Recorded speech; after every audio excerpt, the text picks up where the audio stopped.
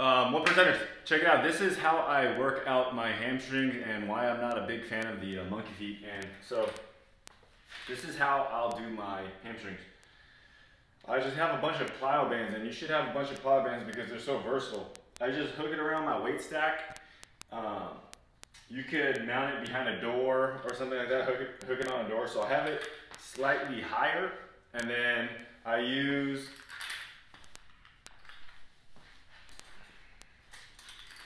I use these DMoose Fitness ankle straps. Okay, and then you'll also need a carabiner, standard one. Make sure it just holds a lot of weight if you're gonna do big weights. Um, but I, I, think these are rated for at least like two or 300 pounds, just for like safety. Okay, and then so I'll attach them to the, to the plyo band, and then for, again, ease of use, I have another carabiner and then you just hook it like this, and it's pretty much that simple. So let me show you real quick.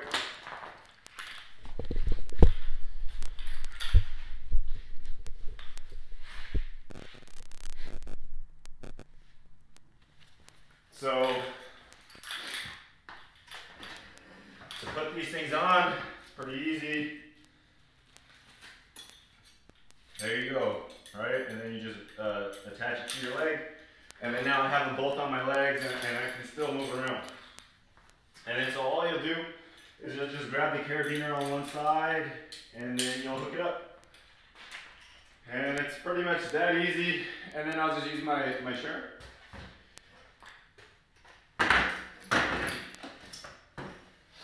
And I'll sit and I'll go like this.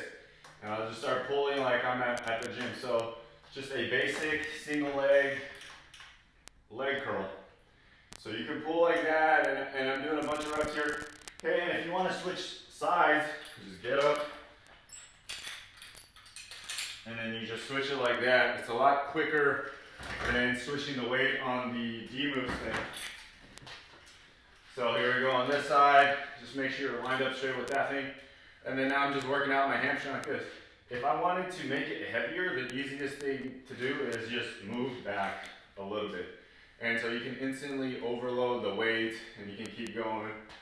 If you wanted to make it heavier, just move back, okay?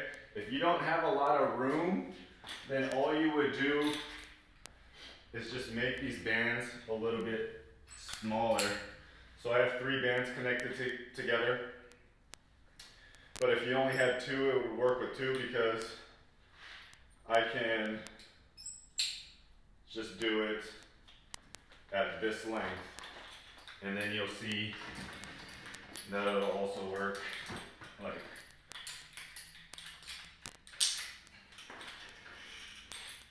Okay, and then so you can still get that pull there. So that's how I would do my leg curls with some type of band.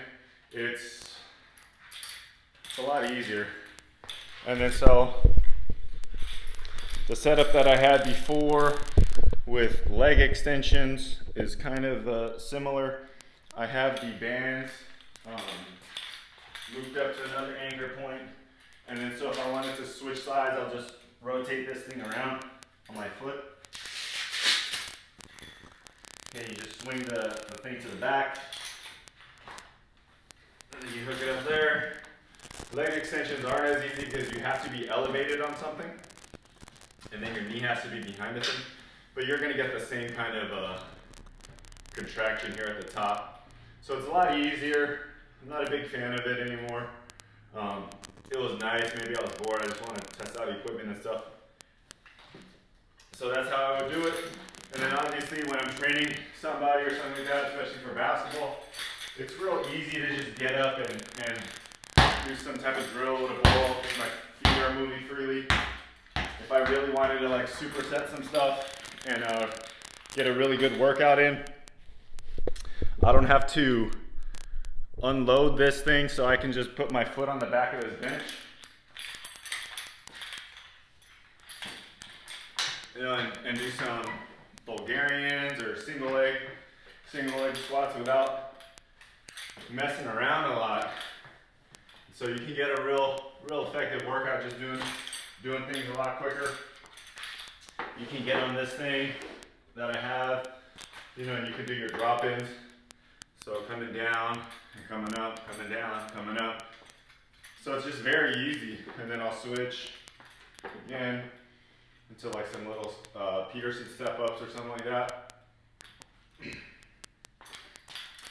So the versatility of uh, these DMoose bands are just these things. DMoose, okay. That's basically all it is. And then this little clamp. Okay, so yeah, so hopefully that helps um, you guys decide and, and kind of understand what you guys need to do to get a good workout in. You don't need a bunch of fancy equipment. Um, you can use the bands pretty much for anything. You can use those ankle straps pretty much for everything. And then you'll just need carabiners um, to make switching back and forth from exercises a lot easier. All right, that's all I got for you guys. I, I hope this helps. Remember, take 14 minutes, 24 seconds, or 1% of your day to get better.